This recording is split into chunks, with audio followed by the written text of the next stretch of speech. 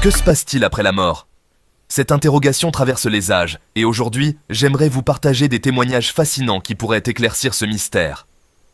Premièrement, il y a l'histoire d'Anita Mourjani. Diagnostiquée d'un cancer en phase terminale, Anita a vécu une expérience de mort imminente qui a bouleversé sa vie. Elle décrit un passage dans un royaume d'amour et de compréhension profond où elle s'est sentie totalement en paix. Anita raconte avoir rencontré son père décédé et ressenti une connexion profonde avec tout ce qui l'entourait. Cette expérience l'a conduite à une guérison miraculeuse, et elle partage maintenant son histoire pour inspirer les autres. Ensuite, il y a le récit du docteur Eben Alexander, un neurochirurgien autrefois sceptique. Tombé dans le coma suite à une grave infection cérébrale, il a connu un voyage intense à travers l'au-delà.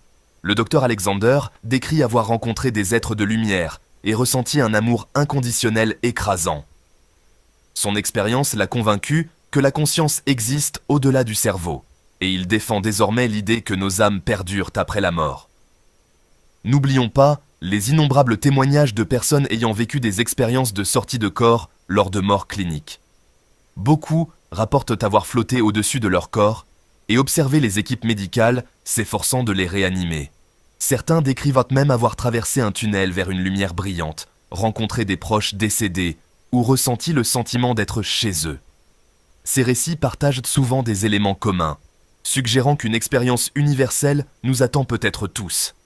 Ces témoignages n'apportent pas seulement du réconfort, ils remettent en question notre compréhension de la vie et de la mort.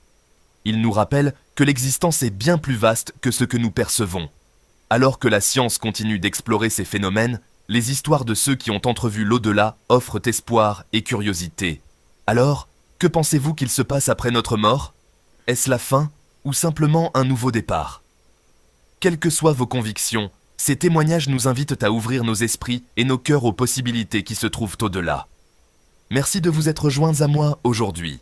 Si ce sujet vous a fasciné autant que moi, pensez à vous abonner et à partager vos réflexions dans les commentaires. À la prochaine, restez curieux et ouverts d'esprit.